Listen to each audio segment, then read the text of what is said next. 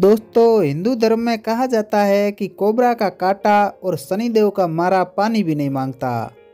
शनिदेव की जब शुभ दृष्टि होती है तो एक रंक भी राजा बन जाता है। और जब इनकी अशुभ दृष्टि होती है तो देवता, असुर, मनुष्य, सिद्ध, विद्याधर और नाग, ये सब समूल नष्ट हो जाते हैं। ऐसी मान्यता है कि शनि जिस अवस्था में होते हैं, उसके अनुरूप ही फल प्रदान करते हैं। जैसे प्रचंड अग्नि सोने को तपाकर कुंदन बना देती है, वैसे ही शनि भी विभिन्न परिस्थितियों के ताप में तपाकर मनुष्य को उन्नति के पथ पर बढ़ने की सामर्थ्य एवं लक्ष्य प्राप्ति के साधन उपलब्ध कराता है। नव ग्रहों में शनि को सर्वश्रेष्ठ इसलिए भी कहा जाता है क्योंकि यह एक राशि पर सबसे ज़्यादा समय तक विराजमान रहते हैं। श्री शनि देवता अत्यंत ज्वालामय और जागृत देवता है। आजकल शनिदेव को मानने के लिए प्रत्येक वर्ग के लोग इनके दरबार में नियमित हाजिरी दे रहे हैं। आज इस वीडियो में हम एक ऐसे ही शनिदेव के मंदिर के बारे में चर्चा करेंगे, जिसके चमत्कार जानकर आप हैरान हो जाओगे। तो बने रहिएगा मेरे साथ, अंत तक आपको सारी जानकारी मिल ही जाएगी।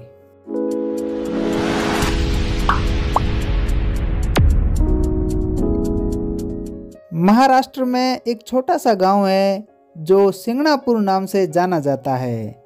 जो शिरडी साईं बाबा के दर्शन करने के लिए जाते हैं, उन्हें इस जगह के बारे में ज़रूर पता होता है।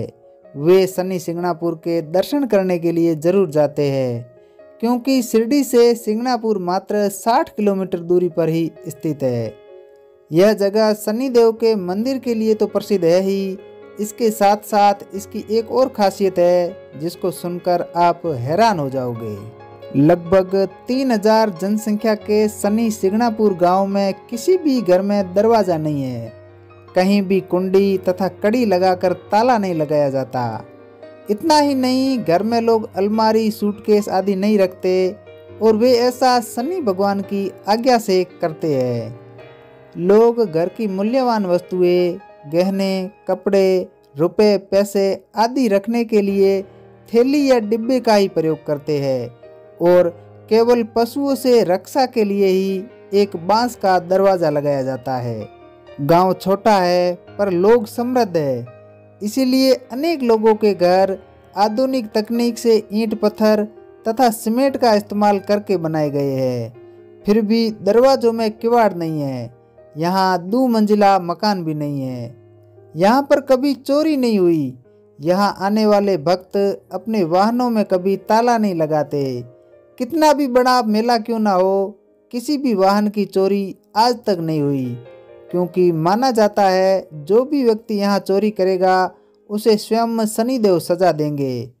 और यह अनोखी प्रथा प्राचीन काल से ही चली आ रही है।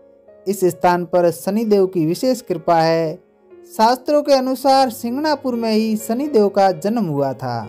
भगवान शनिदेव के जन्म स्थान सिंगनापुर के संबंध में कई कहानियाँ प्रचलन में हैं, जिनमें से एक कहानी में बताया गया है कि पुरातन काल में एक पंडित सिंगनापुर में पधारे।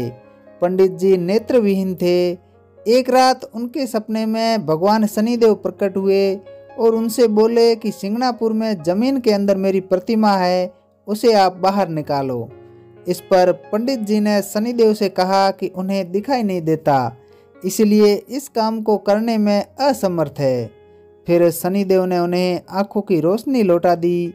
जब वह जागे तो दृष्टि पाकर अत्यंत प्रसन्न हुए और शनिदेव द्वारा बताई गई जगह पर खुदाई की तो वहाँ पर शनिदेव की एक प्रतिमा निकली। इसके बाद शनिदेव की प्रतिमा को बाहर निकालकर शनिदेव की मूर्ति की स्थापना की गई।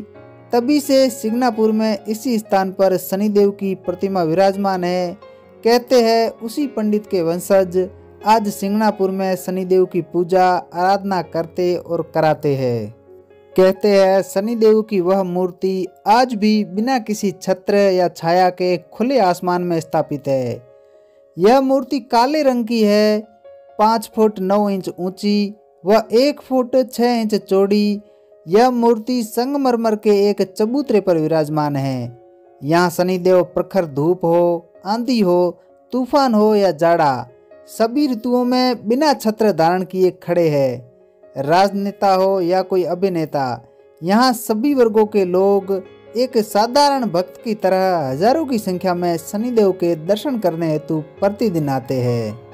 ऐसी मान्यता है कि जो भी भक्त शनिदेव के मंदिर सिगनापुर आता है तो उसके सारे दुख भगवान शनिदेव हर लेते हैं। और यहाँ आने के बाद उसको एक अलौकिक शांति की अनुभूति होती है।